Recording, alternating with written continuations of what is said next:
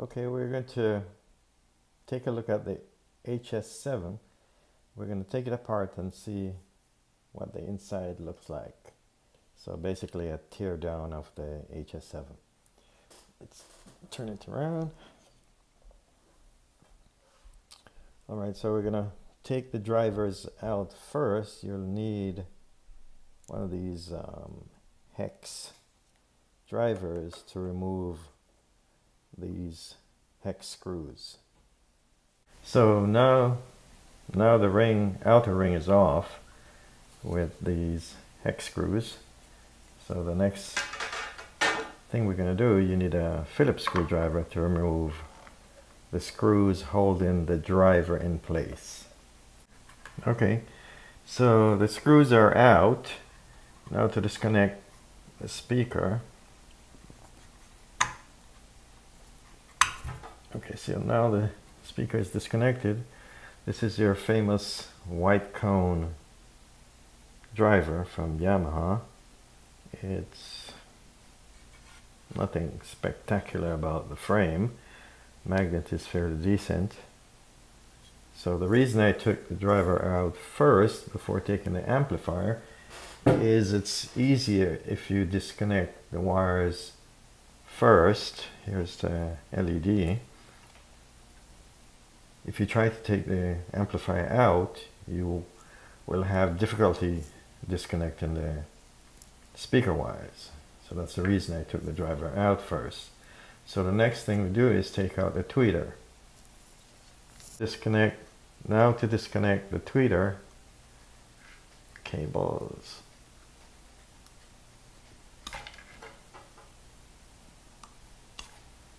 So now the tweeter is disconnected. So in here you can see some padding or insulation for dampening the cabinet.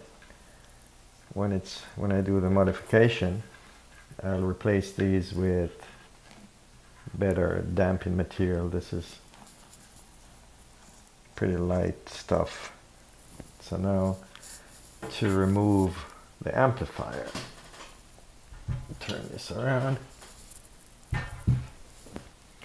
And they're all Phillips screws so to remove this.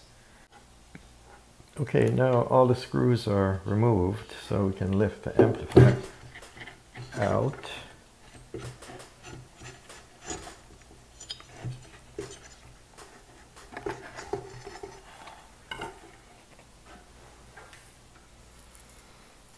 so this is the amplifier and the power supply power supply and amplifier, the input board,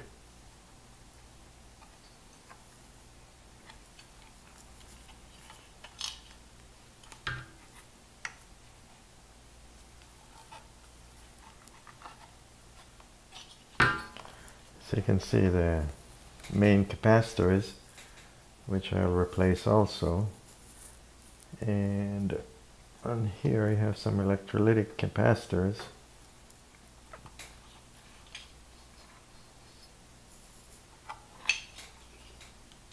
and the op amps those are going to be replaced with better quality op amps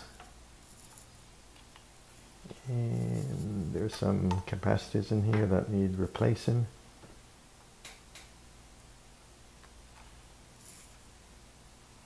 so overall it's fairly simply simple amplifier and power supply I also did um, plot of the frequency response, so we'll take a look at that. But let's look at the cabinet. Inside you can see the white material that's dampening. It seems like it's barely held in place. That's going to be replaced. So let's take a look at the frequency response and the impedance plot of the woofer in the cabinet. So here's the impedance plot, plot of the woofer in the cabinet, of course, disconnected from the amplifier. So what you're getting is the actual tuning frequency of the, the cabinet, which is 42.73 hertz. So right there. Okay, so next let's take a look at the frequency response. Here's the frequency response of the, the speaker itself. It's fairly flat throughout the range. Okay, so to put it back together, you just do the reverse with the amplifier back in first.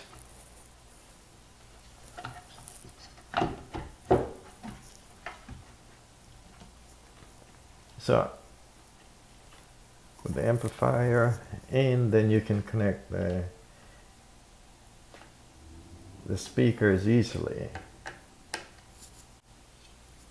Okay, so the amplifier is back in. Now to put the drivers in, you can see. So here are the connections, so it's easy when you do it that way. Now the LED.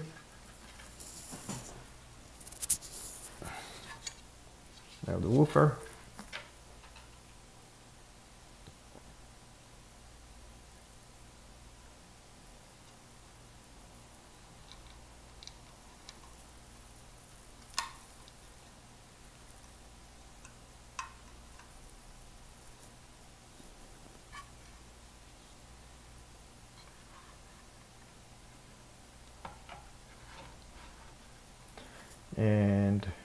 You just put the screws in and then you put the tweeter back in after you've so here's a wire for the tweeter.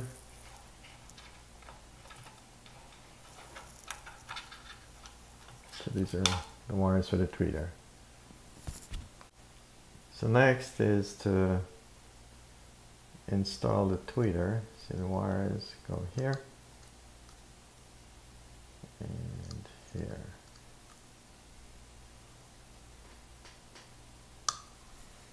So the notch fits the wires right there. So you just put it back in place.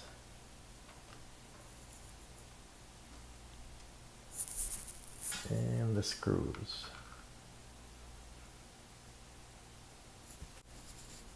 Now the tweeter is in the woofer is in. The last piece to go on is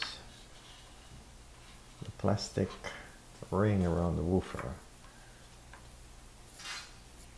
And you use the hex screws again. So now it's all back together. So if in any, for any reason you need your speaker serviced and it's not the drivers, then you know how to take it apart and send the amplifier to be repaired. So that would save you in shipment, cost, and easy packing. So that's it.